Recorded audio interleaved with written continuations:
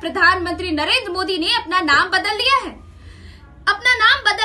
चौकीदार नरेंद्र मोदी कर लिया है। इसके साथ ही तमाम बीजेपी के नेता, बीजेपी के राष्ट्रीय अध्यक्ष अमित शाह ने भी चौकीदार अमित शाह और तमाम पीछे पीछे बीजेपी के जो नेता है, वो अपने नाम के आगे चौकीदार लगा रहे हैं। बेहद ही दिलचस्प बात है कि जिस तरह से देश का प्रधानमंत्री अपने नाम के आगे चौकीदार नरेंद्र मोदी लिख रहे हैं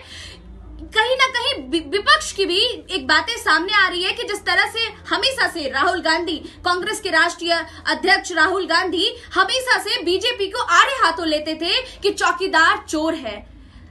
जिस तरह से कांग्रेस ने इसे नेशनल एंथम बना दिया था, चौकीदार चोर है, और आज जिस तरह से रविवार को ट्विटर हैंडल पर प्रधानमंत्री नरेंद्र मोदी ने अपना नाम प्रधानमंत्री चौकीदार नरेंद्र मोदी कर लिया है, इससे एक संदेश जा रहा है कि किस तरह से चौकीदार को इन्होंने अपना एक हथियार के तौर पर बीजेपी ने भी इस्तेमाल किया और इसके साथ साथ तमाम बीजेपी के नेता भी अपने नाम के आगे चौकीदार लगा रहे हैं।